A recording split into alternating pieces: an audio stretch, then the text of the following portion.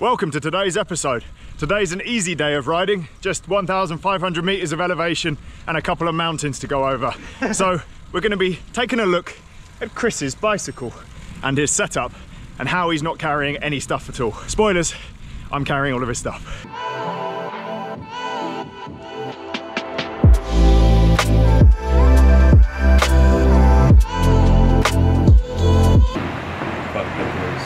So this is the bike I've been riding since we left nine, ten days ago. Uh, it's a Cervelo Caledonia 5, not named anything to do with Scotland. It's actually named after the road that Cervelo's office used to be in, or on, in, in California. And it was a bike that was designed for rough roads around there. And so the road was called Caledonia Road, they named it after that road. This is a bike that Cervelo designed specifically for Roubaix, Flanders, like the Cobble Classics in mind. So slightly longer wheelbase, slightly lower bottom bracket. Uh, the idea is it's supposed to be a more stable, endurance focused bike. They do two versions. They do the 5 version, which is like the top end, or the Caledonia, which is a more uh, price conscious version of it. So mine is built up with a mix of Ultegra Di2 11 speed, uh, with a Dura-Ace uh, power meter on there. I'm running a semi-compact chainring on the front and an 1134 cassette on the back. So loads of room with the gears there basically. It's easy to sort of spin up any of the climbs with a loaded bike. Definitely more gears than me. Definitely have more gears than you. And also uh, that's the kind of range I quite like. I like having the bigger cassette and then the semi-compact because I don't know, I just think it works really nicely. You don't need to have a, uh, you know, anything else. It kind of seems to cover all the ranges. Fine off-road, fine on-road. Wheels are from Parcours. I'm actually riding the Alta wheels, which is Parcours gravel rim, which is a much wider rim. I've got 28 mil tires on there, but on the Alta rim, they blow up probably to a 30 or 32, much bigger. Front wheel also has a dynamo hub on it, which is not connected, uh, but is very easy to connect. I've not connected it because we don't. I don't feel the need of it on this kind of ride, to be honest with you. Uh, but the, I've got the ability to do that quite easily. Saddle is a Pro Stealth off-road saddle. Now, very specifically riding the off-road one because it's deeper padding. It's a bit more comfortable, in my opinion. Uh, the, the Stealth saddle is a saddle I get on really well with, but it's the same sort of thing. There's so many saddles out there. It's, you know, shorter saddle, pressure relief channel in the middle. You know what I find funny about the saddle? The off-road saddle. Yeah. Is that it's got a pressure relief channel, but they've like filled it in so you don't get sprayed in the ass. I ride quite a long stem and quite narrow handlebars. Reason being is I've got long limbs and a short torso. So for me, it's more comfortable. That is how I've had my bikes fitted to me. Luckily, it looks kind of pro and cool. I do have spacers underneath it, but I have that on every bike. But what Cervelo have done is they've kind of like done this integrated spacer top cap thing, which looks really neat and tidy. Keeps it, I guess, kind of looking a bit aero. And it actually doesn't really look like you have spacers on it, which is quite nice.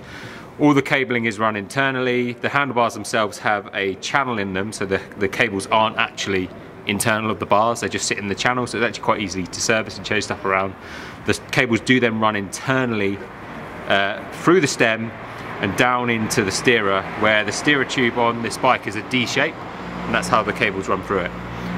I'm running a 130 stem and a 38 handlebar. I find the handlebars super comfortable. The Garmin that I'm using is a 1030 Plus, which is the big one, big battery life, big screen. To be honest, that's why I like it you can charge it up with the external battery, which is super useful. Which you could do. I think most of the Garmin's now have the little magnetic. Yeah, when they've got that stuff on the back. The connector thing on them. Uh, the mount. A lot of people ask about the mount. The mount with the light on the bottom is Cervelo's own mounting system, which uses a GoPro mount. It works great, super tidy. On the rear, I'm then using Tailfin Aero Pack. My one has seen many, many rides, races. It, it's well used. It's done Badlands, Atlas Mountain Race, riding across Australia, this trip, uh, some other big like bikepacking track trips I've done as well. I like it because it's just, it doesn't sway, super convenient, everything stays sturdy and in one place. The thing with a lot of, I guess, saddle bags is because of how they're mounted through the seat post and then on the on the saddle rails, they tend to sway. But because you've got the, the rack which goes through your through axle. It's super stable, doesn't move around.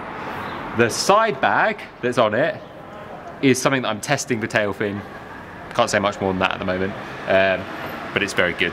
Your tail fin doesn't have the fitting on the side that lets you fit panniers at all. No, so my Tailfin is the, I guess the lightest version they do, which doesn't have the fittings on the side. It's just a carbon rack that goes around it. A lot of people have asked how have I carried so little stuff. So basically, just to give a breakdown of what I have in the bike, it's a set of kit, two pairs of boxers, pair of shorts, two t-shirts, uh, down jacket, rain jacket, leg warmers, overshoes, charging stuff, toiletries, electric toothbrush, which is my essential that I always take on trips on me. And I think that's about it in there. You could make that lighter, 100%. You could take less, but I, that's as far as I'm concerned. That's kind of like I've got lots of things in there which are added bonus for me. Uh, inside the frame bag, which was a custom-made frame bag from a couple of years ago, I've basically got food and like gels and uh, powders from Styrkr and some like passport, a bike lock, some tools, that kind of stuff. There seems to be a fair few people in the comments kind of shocked at how little stuff that you have in particular. I really don't think, and I'd like to get across in these videos how you don't need that much stuff yeah. when you're doing a trip like this. In fact, even with kit, we both have two sets of kit with us. This morning we were wondering why. If you have one set of kit, you can wash it and dry it every single night and it'll be completely fine. Um, so just, yeah, less is more. You could do this setup like what I've got that that is what I would say is a large sort of scale setup for an ultra race to be honest if I was doing an ultra race I'd probably be using something very similar but a full frame bag just to give a bit more storage. And you can you can strip it right back. Like on an ultra one jersey two pairs of bibs so you can swap bibs and then you don't really need off bike stuff.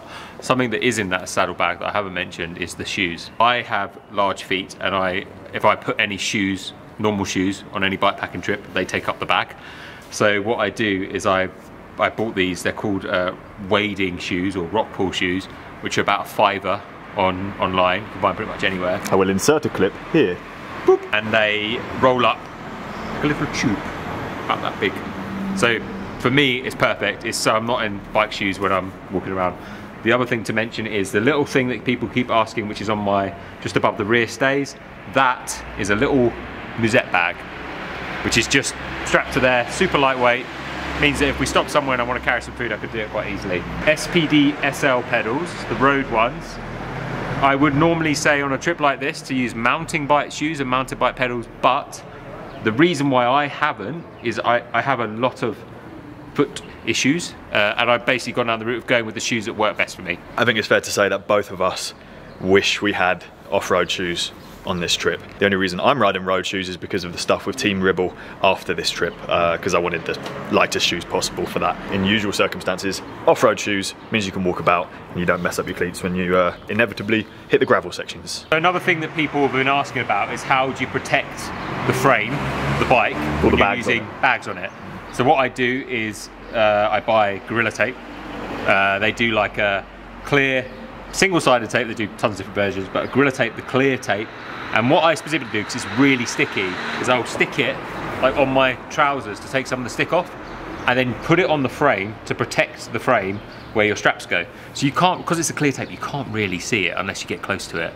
But it just means that the, the points of contact of your bags, specifically that frame bag, aren't going to rub on the frame, rub the paint job off. When you finish your trip, you just take it all off and it's easy because you've taken a bit of the stick off it, it comes off really easy as well. The reason why Gorilla Tape is because it's thick. I have an Aspero 5, which is Cervelo's gravel bike. A lot of people have asked how it compares. And the, the difference is very much in the geometry of the bike. The, the Caledonia and Caledonia 5 is probably the bike that suits 90% of people. Uh, it's a more relaxed geometry, it's longer wheelbase, uh, lower bottom bracket, so it's much more stable. Designed to be comfortable, due to the carbon layup and having the drop rear stays and stuff, but the difference really between the two of them is, I would say, fundamentally is the tyre clearance. And the Aspero 5 is a bit more of an aggressive bike. It's a longer top tube. So for me, on the gravel bike, as opposed to the road bike, I ride a shorter stem to balance out the fact that it's got a longer top tube. The reason why I rode this as opposed to the Aspero 5 was because it is a bike which is designed for doing multi-day rides, really. That's one of the things they designed it for. So it seemed perfect to test it for that kind of thing.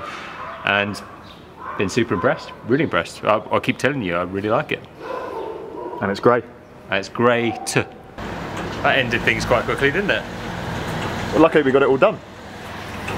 She's got a lot of cars. There's 25 in there. Count them already. Should we go?